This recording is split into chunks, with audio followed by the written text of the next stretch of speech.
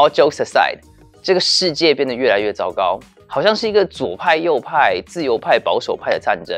但是其实这就是一个属灵上的战争。这个战争浮现到了现实当中。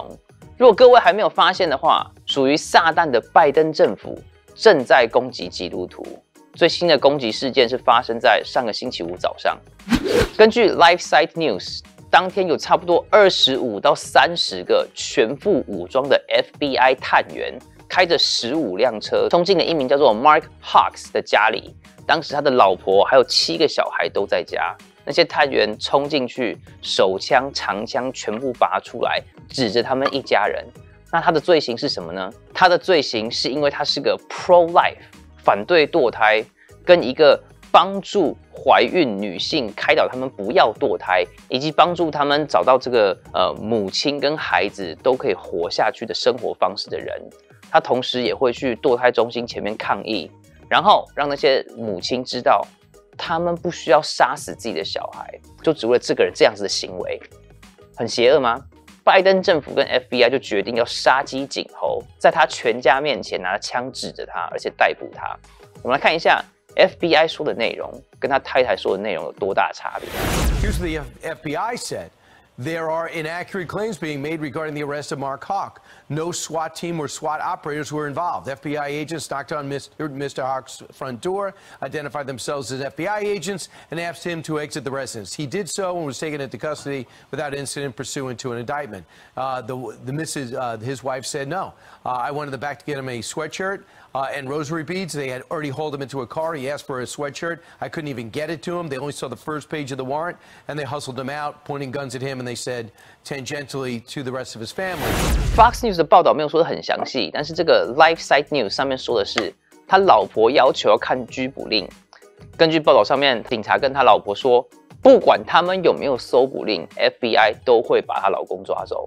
之后，他就一直要 FBI 要去看这个搜捕令，然后 FBI 的这个探员就给他看了第一页，上面说她的老公 Mark Hawks 违反了 Freedom of Access to Clinic Entrance Act，阻挡医院门口自由法案。这这是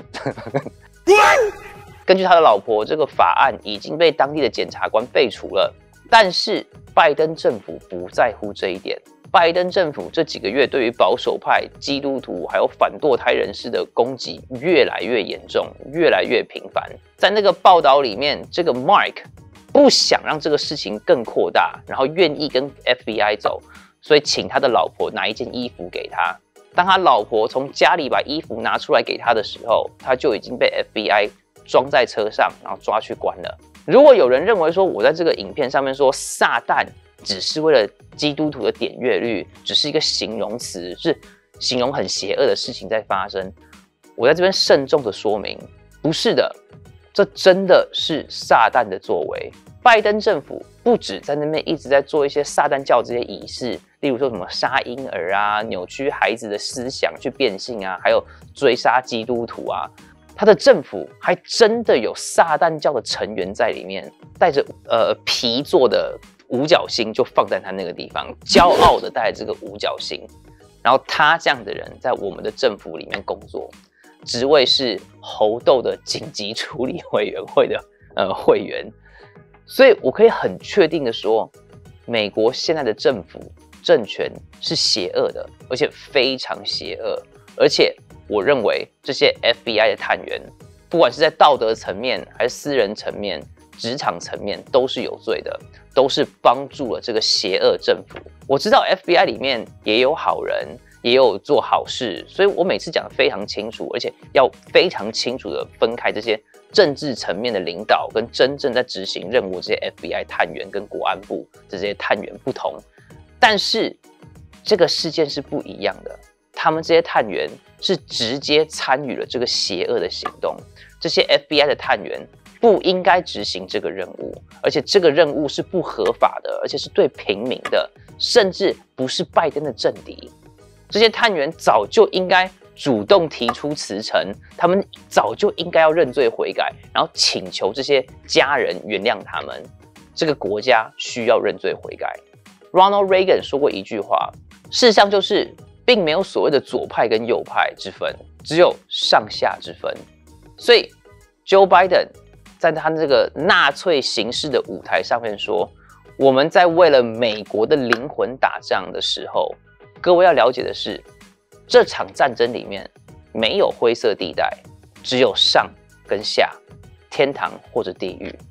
拜登政府的选择非常明显，所以任何还有在支持而且在追随这个政府的领导的，甚至帮这个邪恶的政府在做事的人，也做出了他们的选择。”他们想要杀死小孩、变性小孩、夺走小孩的父母，他们想要做的事是摧毁家庭、摧毁美国、摧毁信仰跟道德价值观。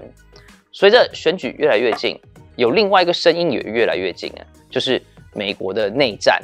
很多人在猜是欧洲的战争会先打起来，还是亚洲的战争会先打起来，还是美国自己会开始打内战？根据比尔盖茨的说法，他这个人成功的。预测到了新冠肺炎的病毒，也成功的预测到了这个疫苗，预测到未来所有的人都会活在虚拟的宇宙的这个眼镜里面生活。现在他预测，他不是在预测哦，他是在说，We are going to have a hung election and have a civil war。我们会有一个悬在空中的选举，然后内战爆发。他似乎知道什么。但是在有什么证据之前，这都是阴谋论。未来有空再讨论。我们现在能确定的就是，在正义跟邪恶的战争当中是不会有灰色地带的，而且我们不能妥协，我们要跟随耶稣。接下来迫害会越来越严重，接下来的文化战争，我们一定会被逼着选边站。如果我们跟温水一样不冷也不热，就会被神从口中吐出来。启示录三章十六节，因为。神不会让我们跟这些 FBI 探员一样找同样的理由。我只是听从命令啊，我只是服从指令啊。我们如果没有守护真理、守护价值观，我们也一样在犯罪。感谢大家收看，我是 Ethan。更多美国情报，请持续关注 AI News。